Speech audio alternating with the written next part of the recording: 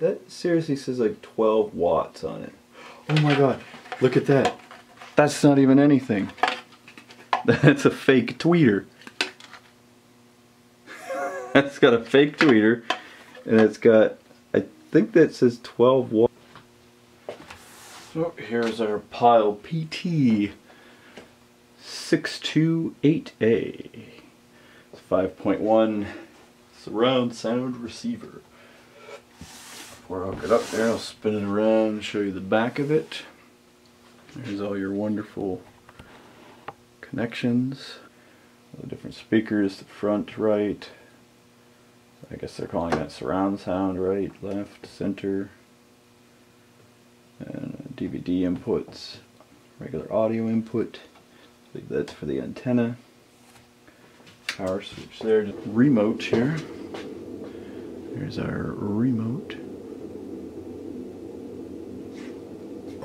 There we go. Let's test her out.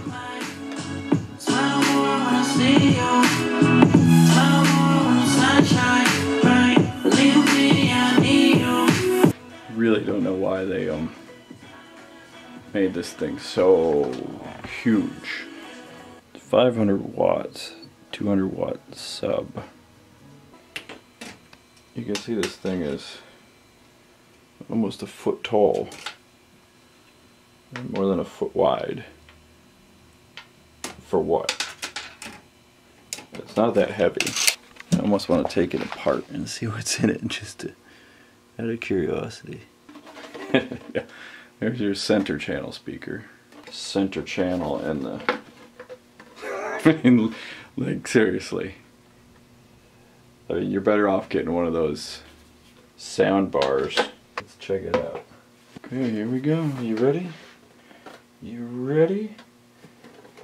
See the amazing technology behind these speakers. Oh man, look at that. That seriously says like 12 watts on it. Oh my god, look at that. That's not even anything. That's a fake tweeter. That's got a fake tweeter and it's got I think that says 12 watts. This speaker could really be like three inches squared.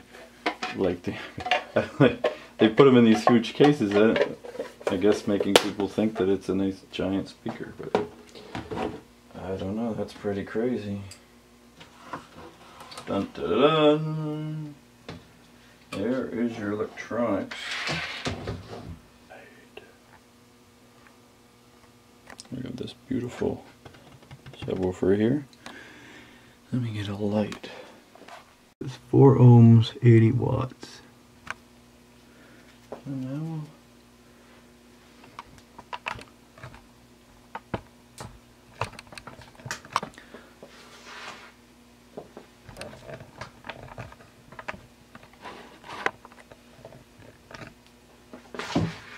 So there you go, that was the innards of the Pyle PT 628A. As you can see, there's a fake tweeter in the speakers. Um,